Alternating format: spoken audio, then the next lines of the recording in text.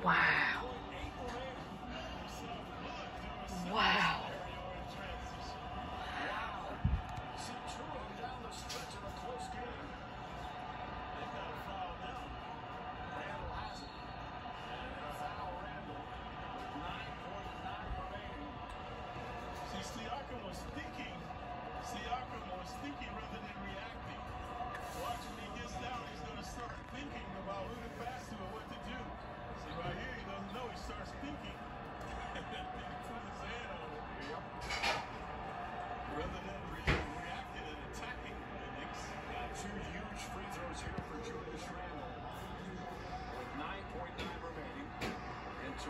still has a timeout. Orlando with 22 points. See his numbers from the free throw line. Big shot there.